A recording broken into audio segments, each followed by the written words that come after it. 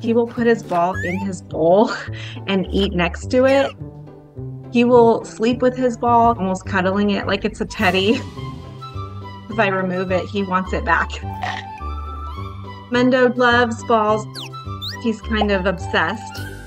He can hold about two balls in his mouth. It gives him like chipmunk cheeks.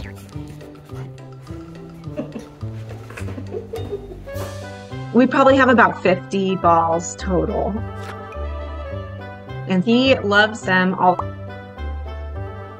We got Mendo after we lost our first dog to cancer. So he's been there for us during hard times. He's supported just with his love.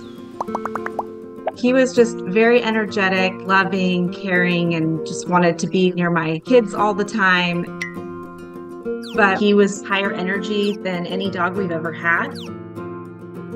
Vizslas, they're pointers and they're hunting dogs, so they really do need jobs to be fulfilled.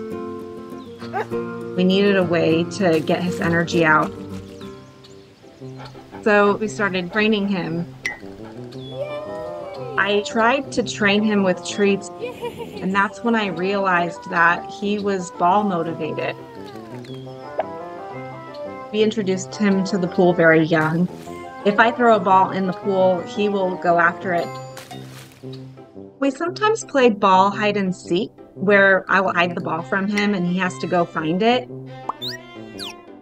He's unique because he is so into his ball.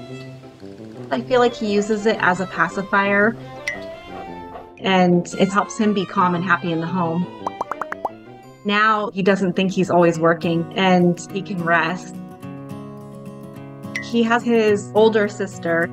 We had had Kiwi for a very long time when we got Mendo. We lost our other dog.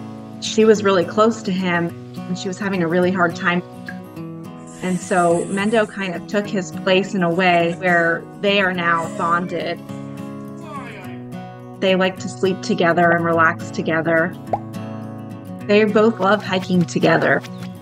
They became really good friends. Kiwi, she's starting to lose her hearing and her vision. So Mendo will run with her and make sure that she doesn't run into anything. Mendo brings a lot to our life. He just brings a lot of happiness and joy to us. I feel like I've learned a lot from him it's really sweet what loving balls did for him. It's time to watch more.